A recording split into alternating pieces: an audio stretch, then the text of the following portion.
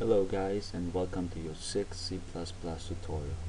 This tutorial will just be doing our first small lab which is basically what we're doing is very simple and it's going to be a calculator basically just calculating the area of a circle.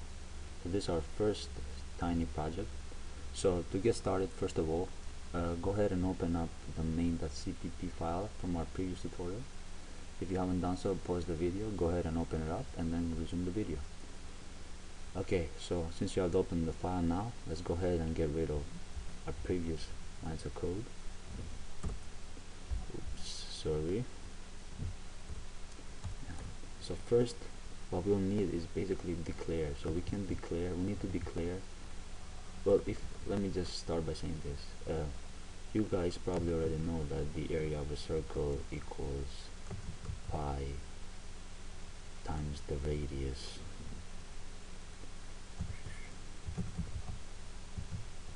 squared. Probably all of you probably know that. But in order for us to use the power function, we need to include. So let's go ahead and include. We need to include the math library. So we just type include and we type math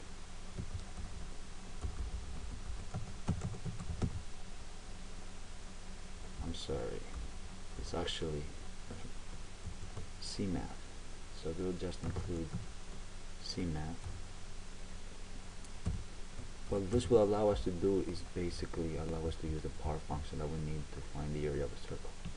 Once you have once we have done that we can just go right ahead and start declaring. So we'll need to declare variable radius which will hold the radius that we need the user to enter and then we need to declare pi. And we need to initialize the set it equal to 3.14 approximately. So this is all we need to declare basically to find the area of a circle. But we can declare as you see here we declare double radius and double pi and initialize it. We can declare line by line or we can do it another way.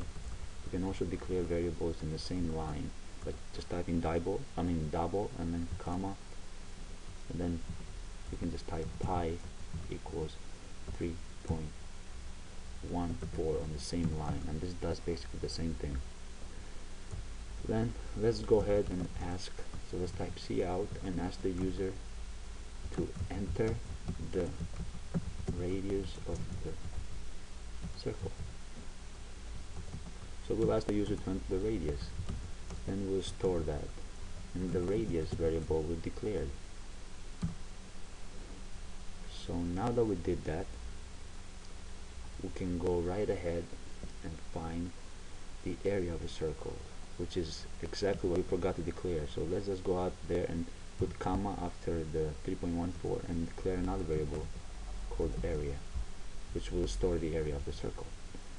So now that we did that we can go right back down here and type area equals here's the formula. So the formula is pi r squared so we need to multiply pi times the radius squared.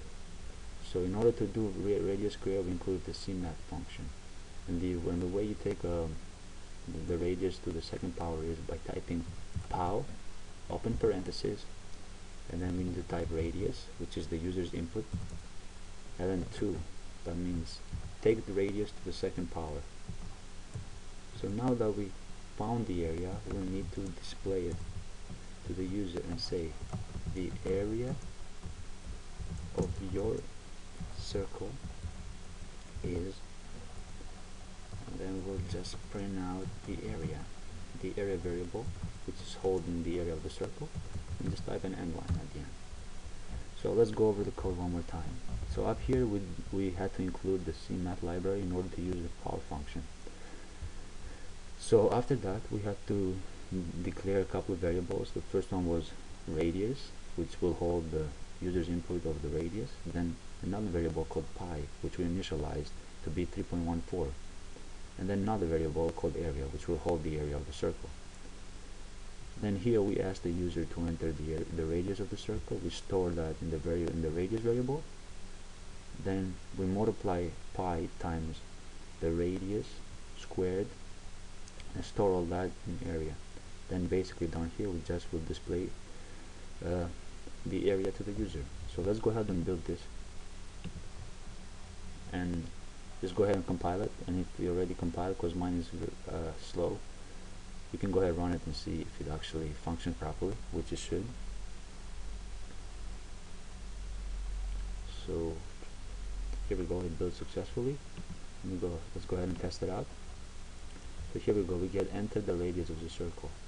So taking a look at the code if I enter the radius to be 2.55 the radius will be stored in the radius variable and then you'll perform the calculation down here pi r squared. Then, it, then you should so we won't see this part. Then we'll just see the area of the circle is pop the area. Let's hit enter.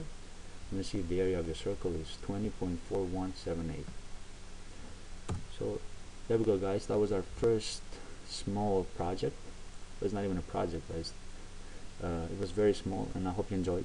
So uh, next will be tutorial 7 and please check out all my other videos and please subscribe. And as I said before if you need me to make a tutorial about anything in particular just comment or send me an email or anything or any way you find to be more reliable for you.